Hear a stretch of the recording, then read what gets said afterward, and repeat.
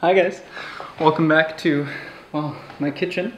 Uh, today we're going to be doing something a little bit different. We're going to be making some D&D ice tiles because I need them for Rime of the Frostmaiden and I'll be running that pretty soon. So we're going to take our XPS foam that we picked up to make our table on and convert it into some tiles. Should be lots of fun. Enjoy guys! So, first things first, we have to cut down those massive sheets into something usable. I'm thinking maybe some 12 by 12 ice tiles would be pretty good. So let's get started.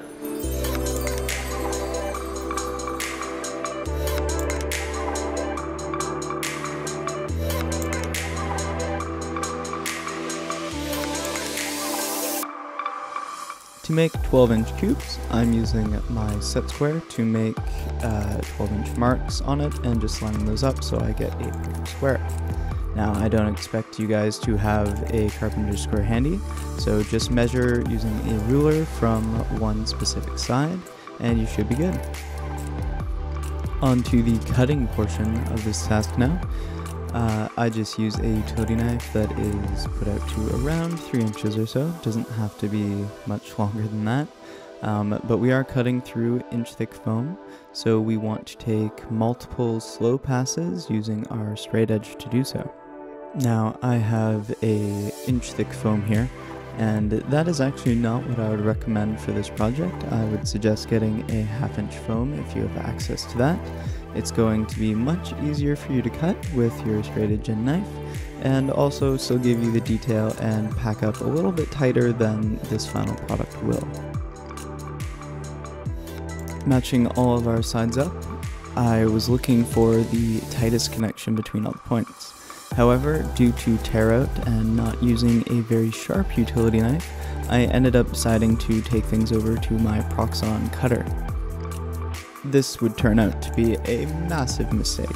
And now I have a whole bunch of shingle tiles, I suppose, or thin strips to do the side of a building. Not sure what I will make with all those, but I certainly have a lot of them. The takeaway from all this is that you do not need expensive equipment. It's nice to have and is great for some tasks, but in a lot of cases, it's better to just use a simple knife that's really sharp and a straight edge to get everything nice and square and to make something cool.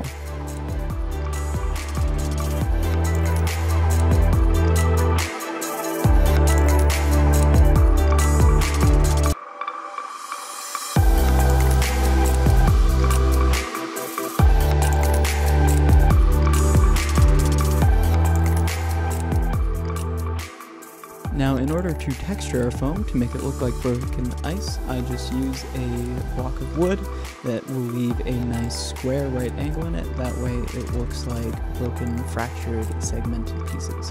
Uh, just whack it like crazy and you'll get the texture you want. Okay, magnet time.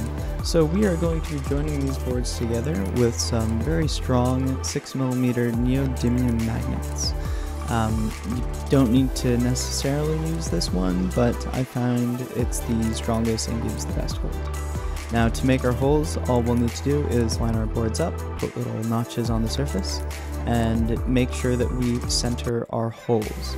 To make the holes, I have a very simple process of just using a needle, heating it up with a flame, and then melting the hole in about the center location.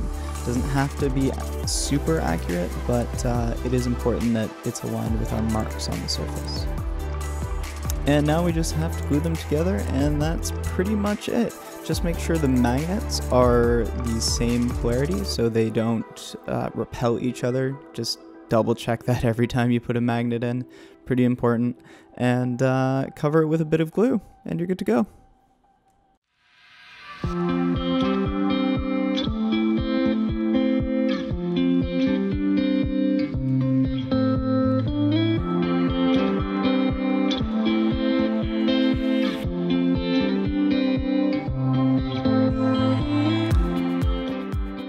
Now we are finally at the stage where we can begin painting, and the first thing I like to do is apply a base layer.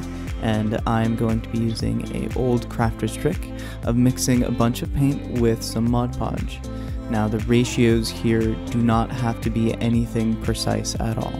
Just make sure that whatever you're mixing into your Mod Podge, you are able to pigment it enough that the color shows through, because the Mod Podge will of course dry clear. So if you don't have enough paint, you're going to have a very dull base color. In my case here, I've gone up for about 50-50. And of course, we will be mixing this furiously. Make sure you get all the sides, the bottom, everything. You do not want this undermixed. To give you an idea of how long this lasts, the amount that we made here will probably cover two to three times the amount of boards that we have in front of us. So we need a few things to start. We'll need our Mod Podge, we'll need a brush, and a bit of water to go along with it. I'm using a bit of a weird brush for this. It's a fan brush, which is not generally intended for this application, but it's the brush I had with the largest surface and would cover this the fastest. So when we're applying this, we're going to want to be mixing it with a little bit of water, that way we can remove as many streaks as possible and the rest of it is just a repetition of this phase.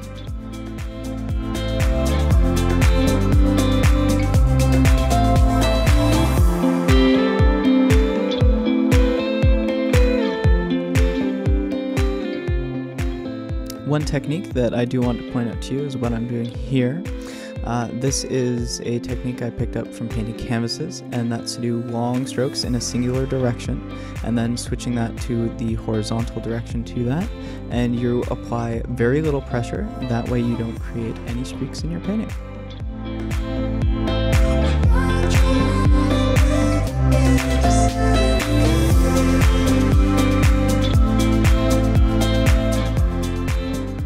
With all of our pieces base coated, it's now time to apply the next layer paint, which in this case is a nice blue for a icy undercoat.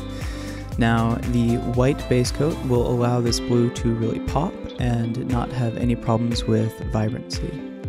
This next step that I really want to highlight is how lightly I am touching the canvas. My brush is hardly touching the surface at all, and this is a sort of technique that allows you to remove even more of those brush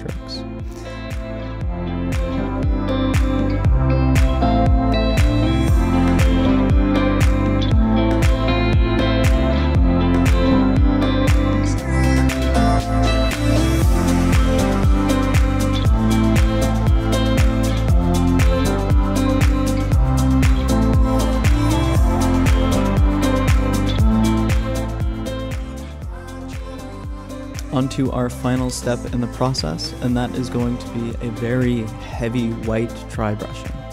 I'm using a watercolor blending brush. Uh, I've also used this brush for oil paintings. This is not necessarily its intended purpose, but we're going to need to apply a lot of white paint to the surface here. So this brush is going to come greatly in handy. And with another smaller brush now, we can highlight each of those cracks individually with a bit more white paint. That way they just pop that little bit more. However, we will be going over this again with even more white paint because we want it to look like snow-covered ice. So the white here is really going to get piled on and it's going to make the final thing look fantastic.